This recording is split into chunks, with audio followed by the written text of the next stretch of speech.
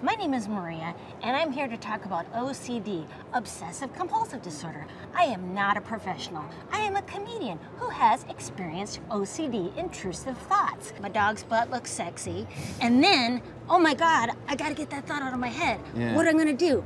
Oh, I'm gonna run around the block and I'm gonna pray to Jeebus Christmas Oh, yeah. so that thought gets out of my head. Fresh, hot, unwanted thoughts. If I said that I was worried that I was gonna go around the entire farmer's market and poke everybody in the belly button, would would you say that was OCD?